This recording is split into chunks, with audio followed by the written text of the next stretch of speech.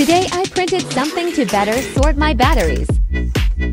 Actually, the print failed. Do you think this is still useful?